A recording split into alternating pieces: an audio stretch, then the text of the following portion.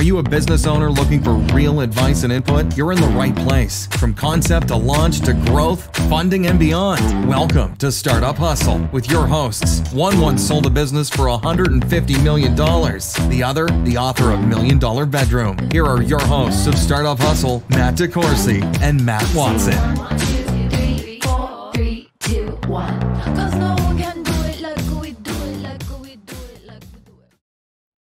And we're back. Another episode of Startup Hustle. Matt DeCoursey here with Crystal Wiebe, who'll be sitting in for Matt Watson today. Crystal, what's up?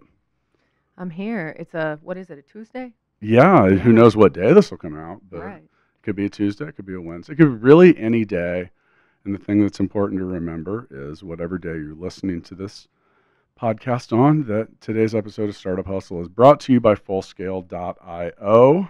Good to get that out of the way. Now, got an interesting topic today. Crystal, you are the founder of Beer Paws, which can be found at www.beerpaws.com. Also true? That is true. Okay, so what exactly are Beer Paws? So beer paws actually started with a bottle opener for your dog's collar. Okay. yeah, like around the time uh, Boulevard switched to a pry-off cap about seven-ish years ago, I was living in a Boulevard type of drinking household, and suddenly it was a struggle to get into a beer. Everyone would be like, "Well, shoot, where is it? What drawer did it get put in?" And I've always been kind of like a crazy, crazy about my dogs kind of girl. And it occurred to me, well, shoot, I should just put the bottle opener on the dog's collar. I had a golden retriever, you know, they're real good dogs and like Velcro dogs. So I never had to worry about finding the bottle opener again. I had a blog at the time and I had- been kind of toying around with ways to monetize that. And so I started selling those bottle openers. That was called it a beer paw. And people were like, well, that's cool. Dogs and drinking? What else can you do? Right. And I went down the rabbit hole. So.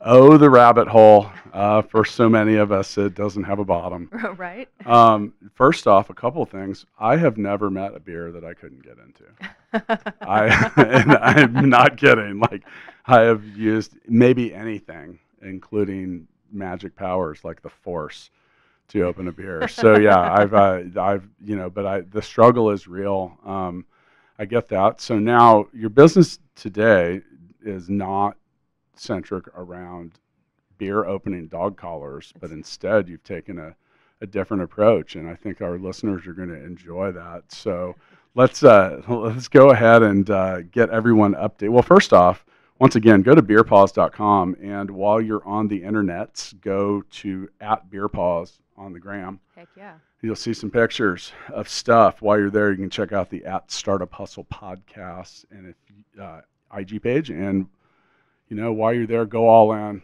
Head over to YouTube and check out and like and subscribe to the Startup Hustle YouTube channel. So yeah, Do all those things. enough of that. Let's talk about what Beer Paws does now. Ready, set, go. go. So yeah, I fell down that rabbit hole and was like, dogs drinking, okay. And I was working in the promotional products field at that time, running social media for a division of Staples. So I was already just like fascinated by really like promotional products and all the opportunities there. And as I was in this like dogs and drinking rabbit hole, I realized that one of the things that I could do is work with breweries to use their spent grains, which is virtually the only waste product, byproduct of the beer industry, and take some of those and turn them into a healthy dog treat. So home brewers were doing it. I first started working with home brewers and they kind of led me to small breweries and on and on. And so in the past 6 years we have I've partnered with over 80 different craft breweries to do uh, co-branded dog treats for them. Sometimes that was like a one-off and sometimes they carry them inevitably Kansas City Beer Company works with us a lot. I have a bunch of breweries that we work with in Nebraska and a handful in Oklahoma and Arkansas, and then kind of scattered throughout. Um, and then you can't have a company called Beer Paws without a beer. So Now, and, and just to clarify, this isn't about dogs drinking beer. It is the product, like you mentioned, repurposing. I, I like any business that takes a waste product and makes something cool with it. Um, but you know, so um, as I was getting really in depth as into my research for today's episode, because you know, uh, for those of you listening, I spend most of my time doing that. But Actually, it's not true. So I went to beerpaws.com last night because I was like, what the hell is this? But it looks like you really have. So you have a relationship with a lot of different brewers. I mean, Mhm. there was like a ton of stuff on there. I was really kind of surprised. Um, how, do you know how many it is total, right offhand, or? Um, so it's we've got I think featured on the website still something like 70 plus, um, and we you know we get emails all the time from newer a lot of newer startup breweries that are looking for innovative or fun ways to promote themselves and fun products to carry. Of course, this is always a real busy time of year. People have gifts in mind. Um, but yeah, we essentially can just take a little bit of their spent grains and mix that up into our master batch and provide these co-branded products. Um, so yeah, tons of breweries, and like I said, some of them we work really closely with, um, and others it'll be you know we'll we'll collaborate for an event here or there. And I've gotten in touch with a lot of the breweries. Our initial contact was at beer festivals. I've gone out to Great American Beer Festival the past four years, and that's a big, huge, crazy setup that's really expensive but really fun. And all my entire uh, demographic is there craft beer people who love their dogs. So it's a great So- place so to meet our end user. These breweries with their spent grains, is that something that they just give you, or I mean, do you have to buy them, or is it different? Or I mean, is it like, are they like, yeah, I mean, whatever, we're gonna throw them away anyway? Or? Yeah, it kind of depends on the brewery, but um, we to to date I haven't had to purchase any any spent grains, and we also, unless we're using it as our base, like you know, for example, we work in the the headquarters until just recently was across the street from Kansas City Beer Co. Um, so I can use I use a lot of their spent grains, for example, as as a base. But if it's a brewery that we're working with further away, or something else, you know, we'll just we'll kind of mix them into the batch. So I don't necessarily need enough for it to be worth it for anyone to get into a we're selling these spent grains. And then other breweries, uh, like Fringe Beer Works, for example, in Lee Summit, they're a smaller brewery. They're happy for us to take as much as we can. I see. So, So do these do, now? Do the breweries then turn around and also act as a sales channel in some regards? Like, yeah. because I, I mean, I think that that would. I mean, is that a major source of, of sales for you after? Yeah, the wholesale, the wholesale uh, revenue has always been a big, a big part of my model, and for the longest time, it's starting to kind of even out now, but for the longest time, the breweries were a bigger element of my wholesale, this uh, side of my business compared to the like dog bakeries and things like that. So I really, in the beginning, when I started this, there was people. Uh, couldn't quite get their head around the concept of oh you're making a beer for my dog and you're giving them a biscuit kind of made with beer like it was a challenge for them but now there's just kind of a lot of things going on culturally Well, there's technically not any beer that the dog gets. right It's grain. right Yeah. Yeah but i do make a beer we have a liquid treat for the dog as well but there's no alcohol in that so Right. yeah Um, so you mentioned like when you first started doing this. This dates all the way back to 2013. hmm So of all people I know, you are definitely the foremost expert at dog biscuit creation. With six years under your belt, I've known some people that have made some different dog-related products, but yeah, that's Yeah. so. Now, where do you make this stuff? So, um, as of just a couple of months ago, um, it's being made at a little uh, little spot in Peculiar, Missouri. Okay, is that where you're from as well, or It's like? not. I'm I'm a Nebraska girl, but been in KC for about 15 years. Um, and so I had been making. I moved all of like total like bootstrapping startup style. I started the business in my house in Waldo and moved in as it progressed. Just more and more like commercial equipment, big huge ovens until it completely took over my home, and just kept hustling, kept my head down, baking my dog treats. And so just recently, um, I finally was able to get my house back, which has been exciting because I teamed up. It's like it's always like a milestone moment was, for yeah. entrepreneurs in many ways. No, I get Yeah. it. Like it, I kind of I kind of laughed out loud there because Right. yeah, it is. You're Yeah. like, wow, I got my house back. Now But what do I do with it? then I immediately didn't have it back though because I was like, well, maybe I should turn it into an Airbnb. Um, but I digress. So just a few months ago, I started working closely with Barkville Bakery, which is another local dog treat company, and she needed equipment and kind of wanted to get stuff out of her house. I, I want to back up for a second. So sure. back to the origin story here. at some point you're like, you know what? I could make a beer biscuit for a dog. Like, is that really how that happened? Were you just messing around, I was well. It was trying to make something for your dog, or like, I was I was trying to figure out what else I could do uh, as well as those bottle openers because people were legit like, oh, so you were searching for something, Mhm, a product or whatever. You Yeah. were looking for a hustle. Yep, I had I had my brand. I had kind of a vision in the back of my head of not working in corporate forever. So, so with the back to the callers, I mean, was that something? Did, I mean, did you generate reasonable amounts of revenue with those, or was that just kind of like was sell just, a few here, sell a few there? yeah, just it was just a little bit like that was so early. Like I went to uh, a Cinco de Mayo event with a Mhm. hundred bottle openers and and sold a few, and then would sell them through. I had a blog where I talked about reviewed other people's pet products and whatnot.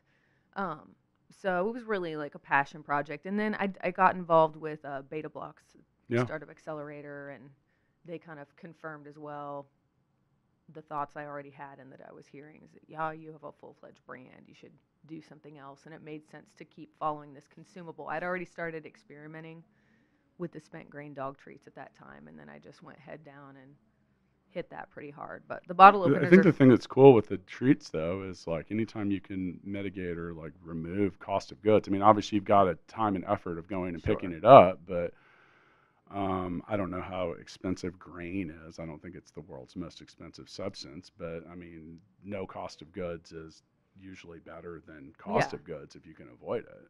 And then if you can turn that the the participant or the contributor into a sales channel, okay. yeah. And I think that's pretty clever and pretty smart. Yeah. So, so as you as you made some of these, and you you're working with the callers. Now the problem is when you're a single a single product company.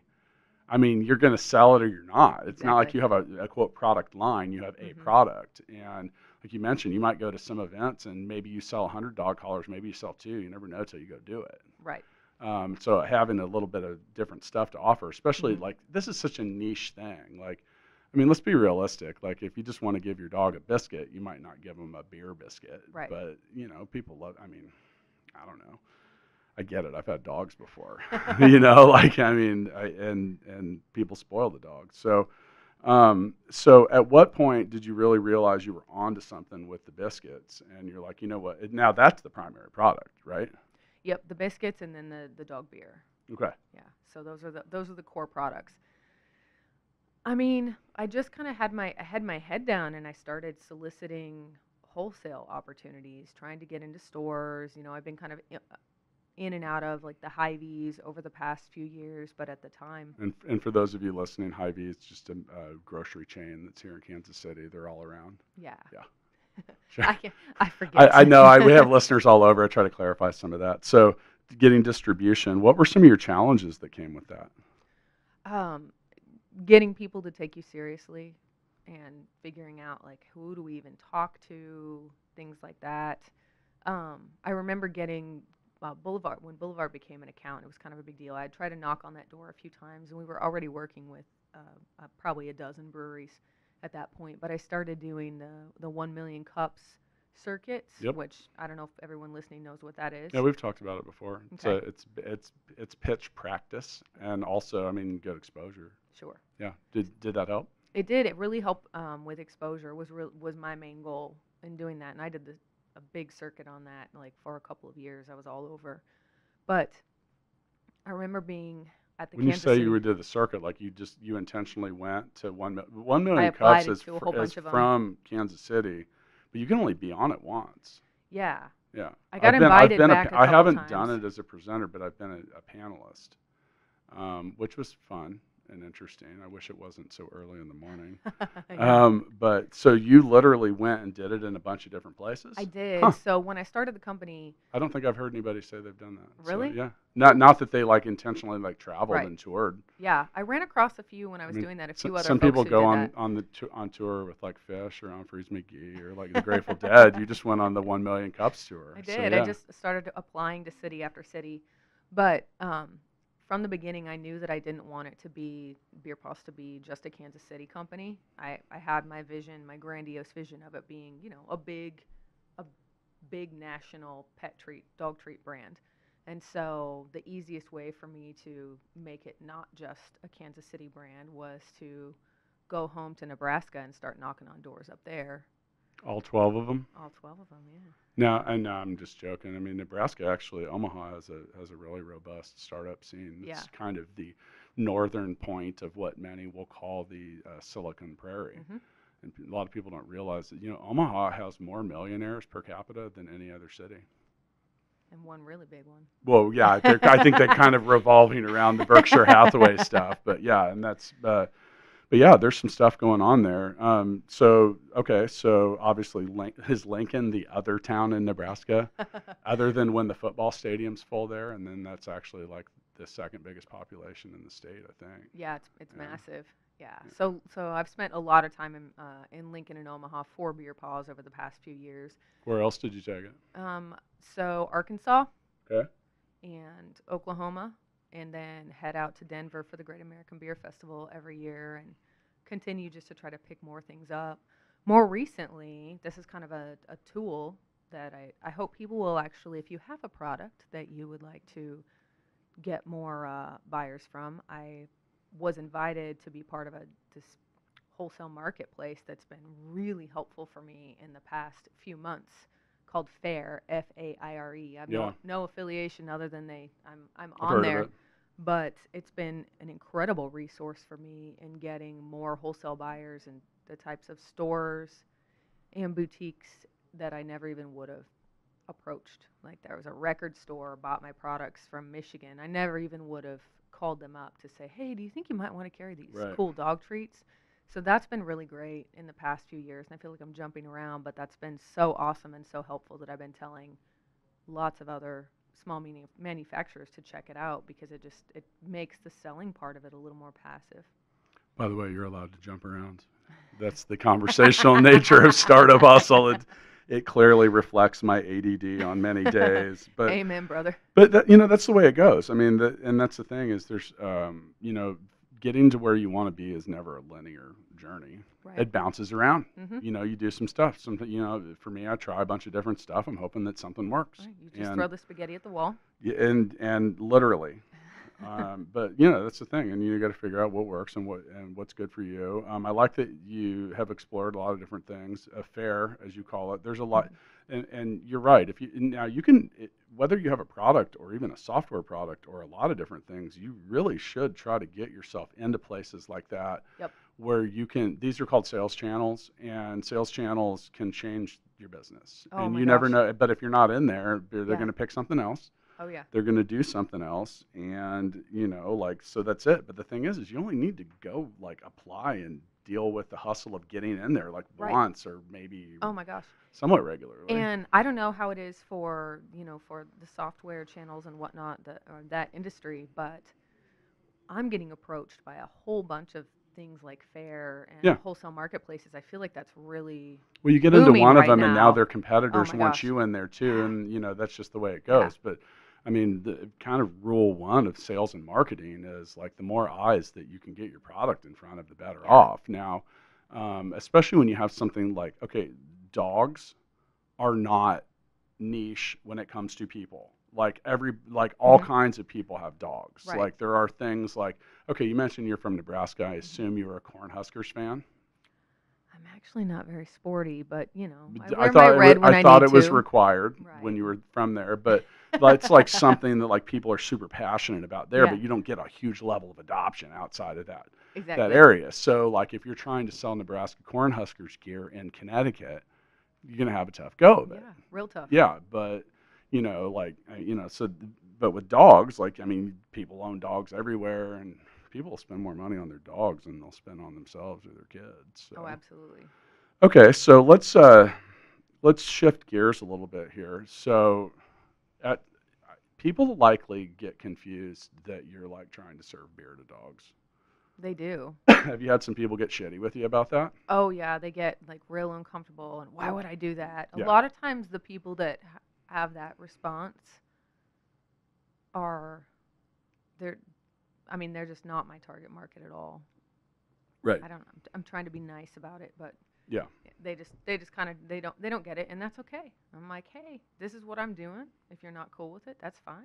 go Can on. dogs even get drunk? Is that a thing? Oh, they can actually, and that's the other thing I have to educate people on. Like hops um, and alcohol, of course, are toxic for dogs. So a lot of people, Hmm. especially at the beer festivals, oh, he he likes his Boulevard or he likes his Coors Light. Yeah, I don't just, give your just- beer, yeah. don't give your dog beer. Yeah, and you know, I I laugh a little bit. Oh well, you know, if they was if they lap n- up a little, it's no big deal. liver. Their yeah. liver has a tough time metabolizing. it, I know Totally. that, and that's just from growing up around dumbasses that were like Right. pouring a beer into their dog's bowl, and Right. you're like, dude, you're killing your dog. Yeah, don't do it. Yeah.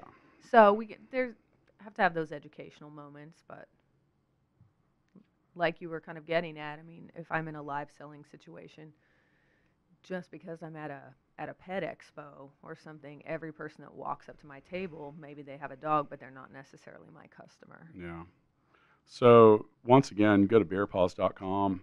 You can go buy your dog some beer biscuits. You know what you can do right now that's kind of fun? Tell me. So uh, my my partner in the in the treat room, the little the retail shop that we're opening, she and I uh, collaborated on a fun project. It's an advent calendar for your dog.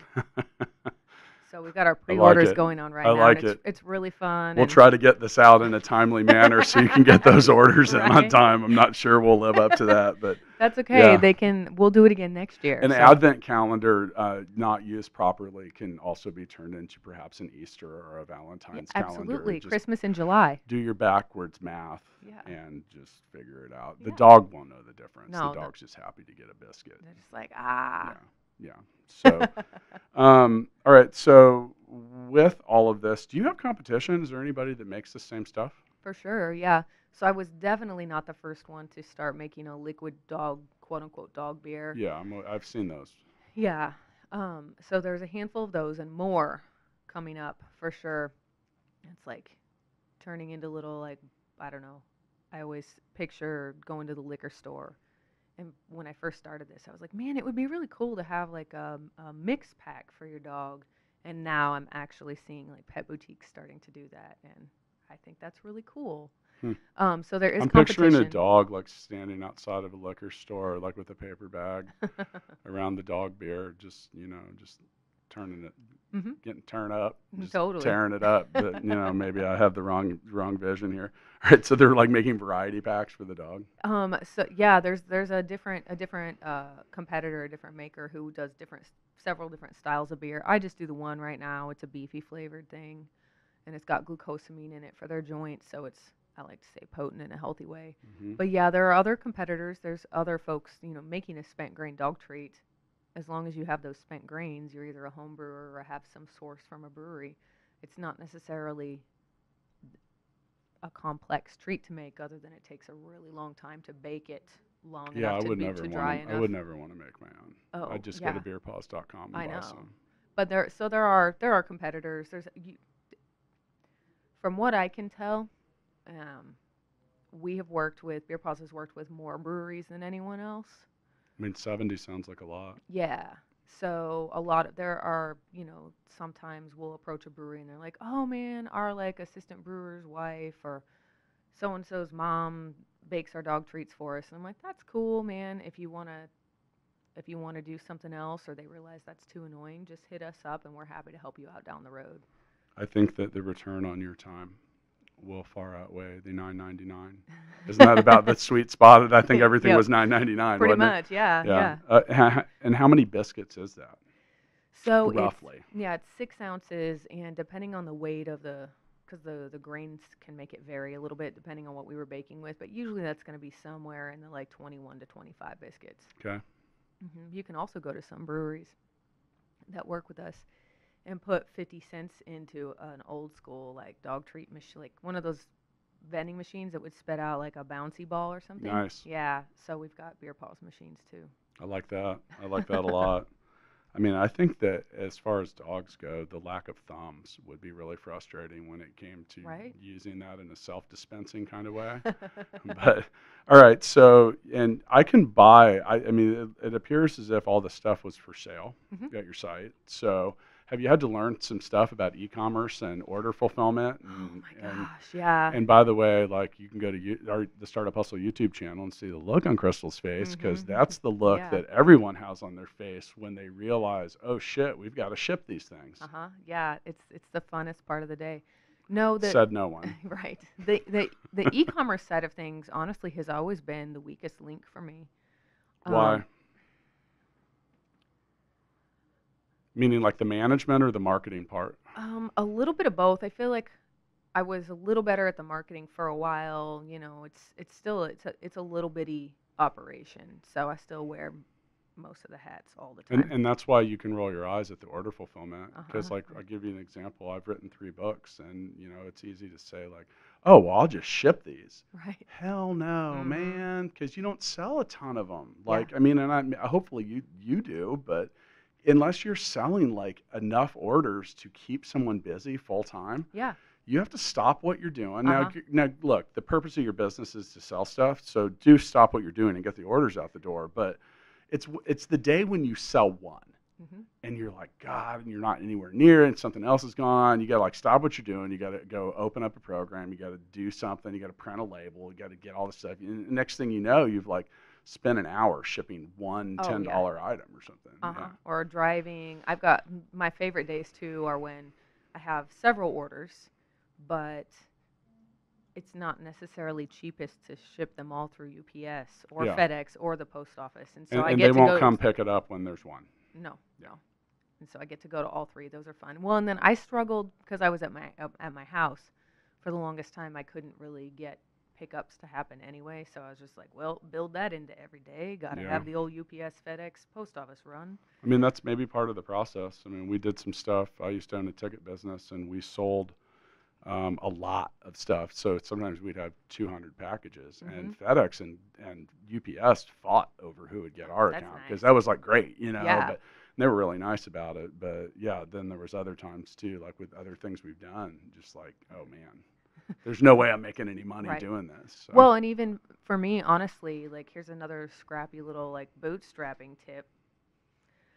So sometimes I don't want to invest in the shipping boxes. So you, we were talking earlier about reusing things. Yep. So we reuse a whole lot of Amazon boxes that my friends and family still still save. Like it just depends. If I can if I can use it, I will. And So especially if in you, the holiday if you follow Amazon standards, that means something the size of a, re- of a refrigerator box. You would put one right, thing yeah, of dog biscuits and then like 800 pounds of foam. Uh-huh. Sounds Every about- time. Sounds about Yeah. right. right? Have you explored alternate sales channels like Amazon? Yeah, we're on. I've got uh, my core products, and then some are Are on, on Amazon. hmm And we and doing the FBA, huge hassle. And luckily, I had some consultants help me get that rolling. Um, but Did you talk to our friends at Marknology by chance? I sure did. You did? All Yeah. right, there you go. Hi, Andrew. I talked to Andrew right before the podcast. He Oh. comes in. He's been a regular guest on this. But yeah, and and by the way, and you know, we'll give him a shout out while we're there. You talk about that stuff's a lot. It's like here you go. You're like, I'm just trying to sell some dog biscuits, right. and they're like, but you got to do this and got to do this and you got to know this, and if it sits there too long, we're going to charge you a zillion dollars, Oh, yeah. and like you can get yourself upside down in a Oh, hurry. real quick, real quick. So, but I love the FBA. You know, then I can just see like, oh, something sold. But that's another thing I do like about. And that's what you're paying for with Amazon. Some people are like, I don't want to pay that big percent. Yeah, guess what? They're doing the work for you. hmm They're pushing it out the door.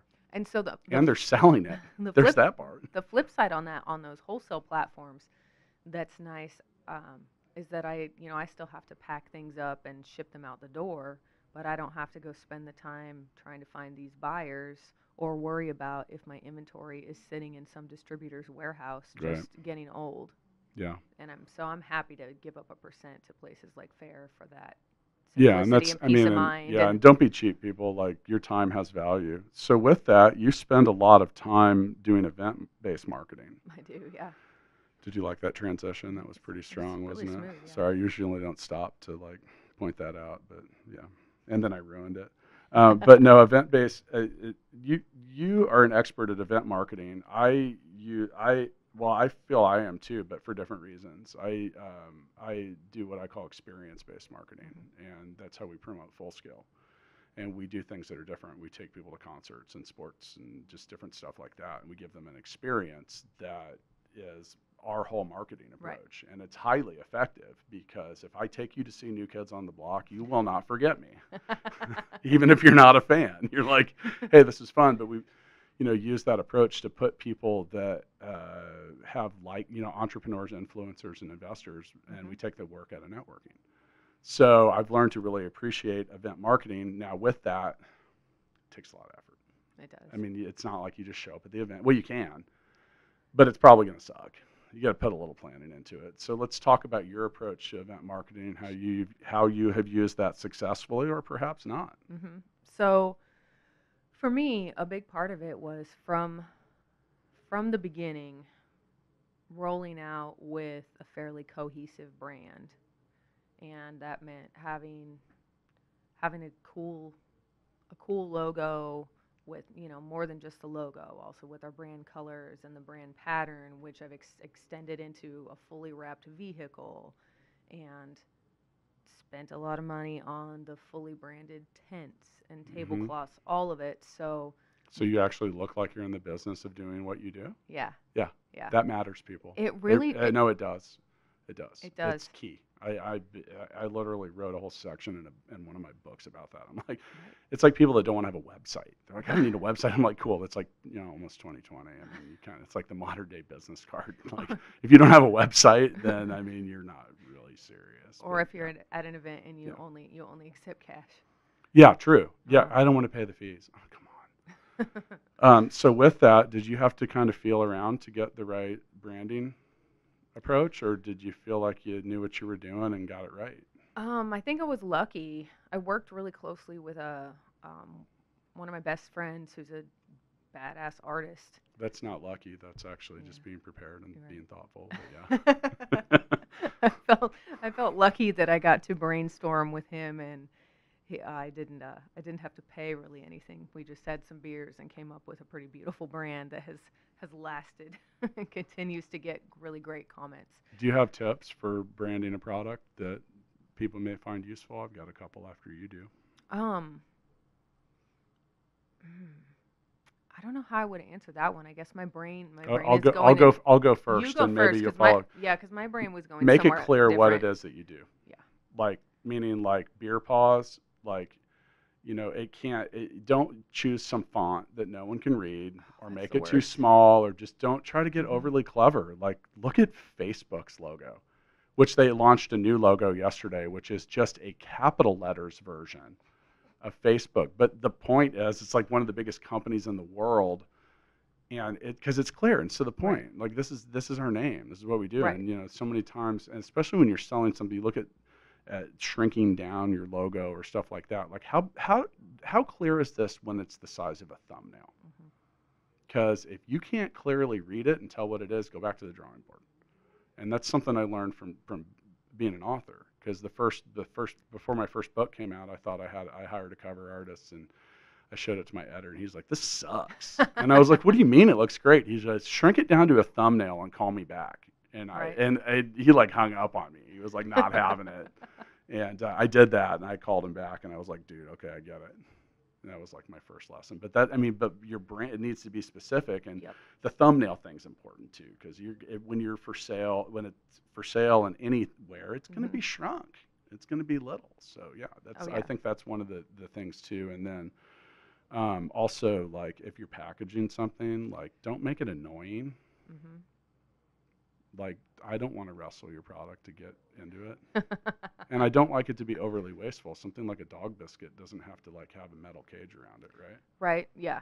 That that that can be frustrating. We and I've had some ups and downs with with the packaging and stuff like that too. We have fully branded six pack carriers and our first run of them are really cool looking, but they like the cardboard isn't really strong enough to Mhm. reliably hold six bottles of beer and so people might pick it up by the handle That's like not you would a good, yeah. six pack and then Yeah, that's not good thing the bottles are made of plastic and not glass.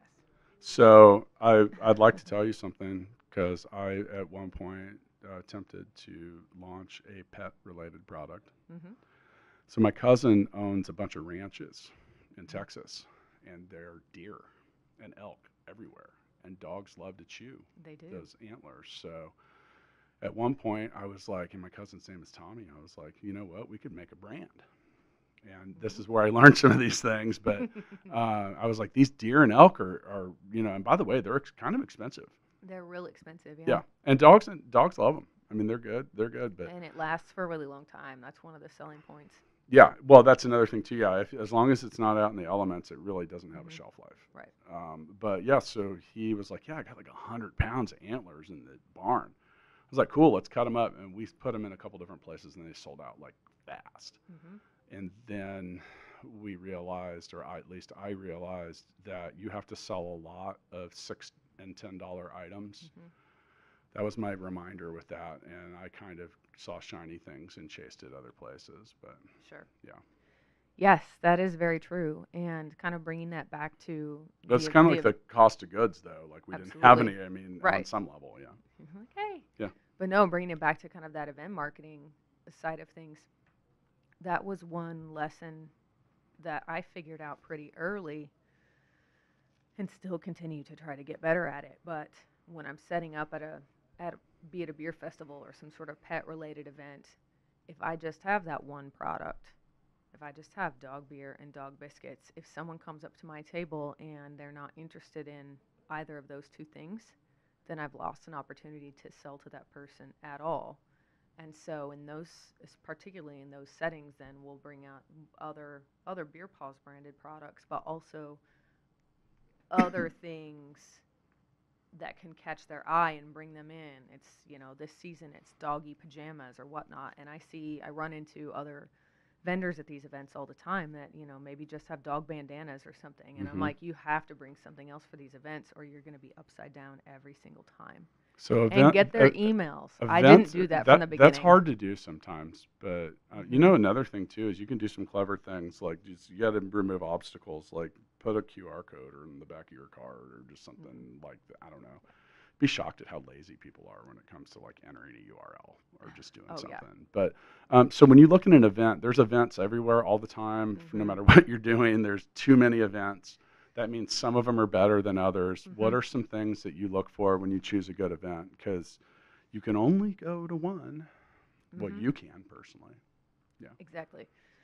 So I pay attention to a lot of a lot of different things. You know, first and foremost, is this an event where I think my target customer is going to be?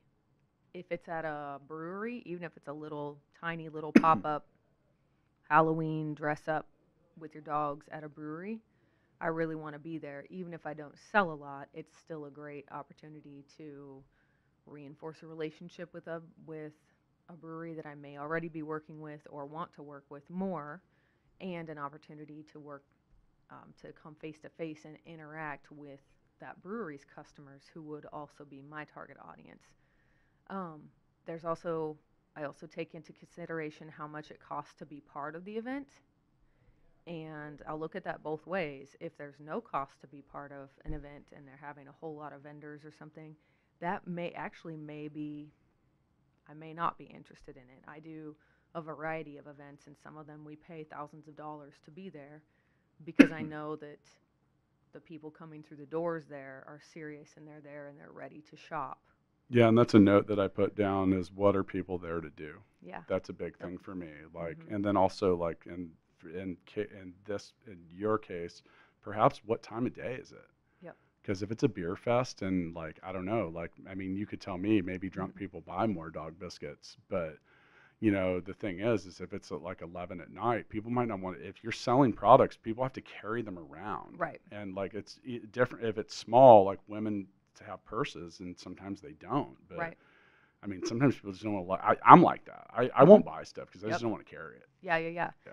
And so I didn't have bags for the longest time because I, I, don't didn't. even want to carry it. I didn't want to create. Yeah. I didn't really want to add more plastic bags just for someone to walk away with it, and that was annoying. And thank you for that. to, to have to deal with that. So when I do have bags, I have some kind of tote bag, and I generally make the person, unless they spend a whole bunch, and I'm like, and you get a free tote bag. Mhm. I work that in to be a product that they want, or work it into a bundle so that it comes with it, and so that's been helpful. But you make a great point that it does. The the time of day does matter. And Yeah, because I'm thinking like a beer festival, and it's something that's in the evening. I mean, like I don't know.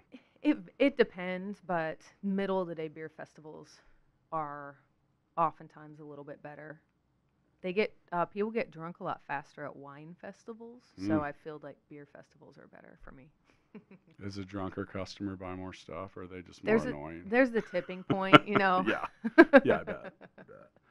Okay, well, um, first off, thanks for coming by. This has been interesting. sure. Um, you are part of our larger effort to reach out to a the widest variety of, and I'm not kidding, the widest variety of entrepreneurs that we can find. You know, really, in the end, I think entrepreneurs and founders and people that have a hustle, like we're all kind of doing the same thing. We just kind of doing it with different stuff. Uh-huh. I mean, it's really like the same rules. You kind of get down into these like X's and O's of business and marketing and just stuff like that. I mean, it's the same stuff. Like, Mhm. you know, it's it, and it's funny in business school they'll often refer to widgets.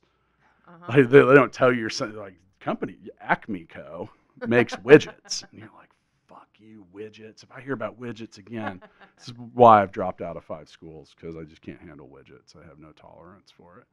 Want to sell real stuff, but anyway. So as as we uh, head towards our our closing moments with the Founders Freestyle, once again, go to beerpaws.com on Instagram. Go to at beerpaws. I was just there. I am your newest follower. Excellent. There's you have a lot of people following you. It's quite a few in there. So um, it's definitely easier to get people to interact with things that involve pets or babies. Isn't it though? Yeah, Yeah. Yeah. So congrats on that. It's sometimes Thank harder you. with.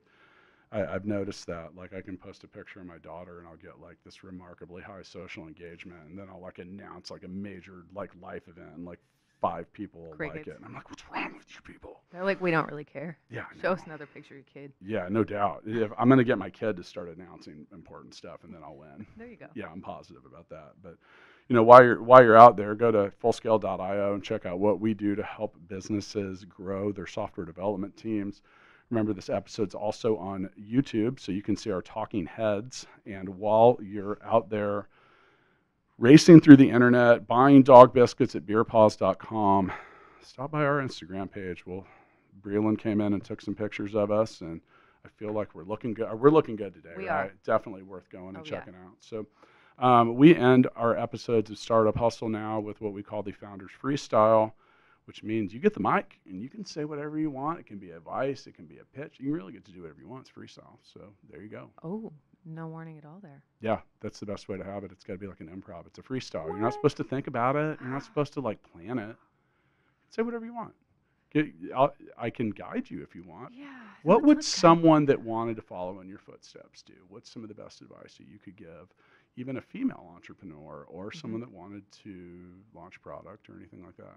Inspire us, Crystal. Right, right. That's that, that's pressure. All right. Yeah, that that is pressure. But so one thing that I would say has been really great for me more more recently that I think I think people don't always think about is you go down the path, this entrepreneurial path, and man, it's like the thing that obsesses you and it's the only thing you want to talk about and it's awesome and terrifying and maybe you like dump because it's the only thing that obsesses your brain. You dump all of that, the good and the bad and the ugly and all of it on the people closest to you.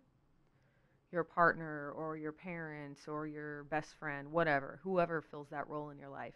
And what's been really great for me lately and I would I would challenge others to find to kind of find their their partner, their their like kind of doesn't have to be a partner in business, but like your business buddy. And so since I started working with that other company, Barkville Bakery, it's been really great for both of us in I think our personal lives as well because we can like dump all of this stuff on each other and sort it out together and not inadvertently burden the people around us so much and that has resulted in I I feel like I'm having better relationships outside of my business because I have another another channel for this that makes sense. So I hope I hope that made sense. Yeah, sure. Um, I mean, you. I mean, that's. I think that's pretty common, and in some regards, that's why like our event-based marketing has gone well because um, you get to actually like bring like my wife as a saint, is the most patient person I've ever known, but. At the on the flip side, I warned her coming in. I'm like, hey, you know, I was married once before, and I, you know, I was kind of maybe opposed to it. On the, I was like, but I like, look, I'll try this again, but you got to know, like, I'm, it's kind of burned in at this point. I'm, I'm who I am now. Yeah. I made a couple notes while you were talking, and you mentioned the the term obsession, and um, there's there are these things, like the term obsession, is an external point of view. Someone is saying that you're obsessed. There's a very fine line between things like, are you obsessed or are you driven? Right. It depends who you ask. It totally If does. you ask someone looking at me, they might be like, he's obsessed with it. I, I'm highly driven. I would like to be successful. The same thing goes with stuff like genius or crazy. Mm-hmm. Because you know, like, and and the thing is, is people put the, it's someone else's label, and the, and I have for the last couple years, I have been fascinated with the genius and crazy debate, and I literally have learned to leverage my well. I find that if people find you interesting or credible, Mhm. then they're willing to sit down and talk to you about what they do well. So I have been able to over the last couple of years. I've sat down with rock stars and artists and like all kinds of cool people and had the debate or the discussion of of like, am I a genius or am I crazy? Like, what's the difference? And the best answer I have gotten is, who gives a shit? Exactly. And I was like, whoa, that's the answer. But Like really, it. in the end, there's no way to define it because, like with genius or crazy, you look at, okay, look at Elon Musk. Some people say he's a genius. Some people say he's crazy because his talks about, oh, we live in a computer generated reality, but he's Elon Musk. right. So he's a genius. But if he wasn't like doing all this crazy stuff, you'd be like, dude, put your tinfoil hat back on. Get back out there with the dog that's drinking beer paws in the paper bag, and you guys talk all about it. Have but fun. but Don't the, tell the- us but about the it. point is, is unless it, that's all someone else's external point of view. So in the end, who cares? You got to do what makes you happy. Now, um, what you also mentioned was just kind of related to a general sense of balance. Mm-hmm. And um, my book, Balance Me, I talk all about personal, professional, and physical. And you got to find a balance that works for you. Yep. And if you don't find the balance that works for you, you will not be able to help anyone else be happy because you will be fucking miserable. Yep. And if you're obsessed or you're driven, that's me. That's just part of what comes with it. So you got to look for people to be in and around your life that are going to tolerate you for what makes you happy as well. Mention my wife is a saint, Jill. You really are. Like you have put. Oh my God.